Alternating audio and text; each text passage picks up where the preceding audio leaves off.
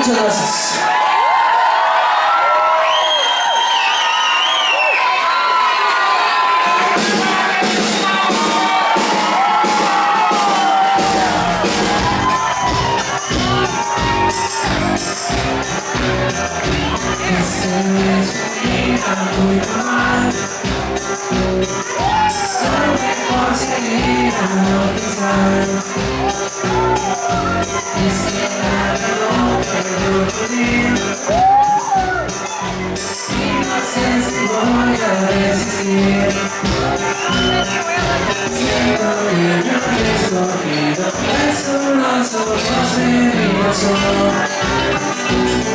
Love me.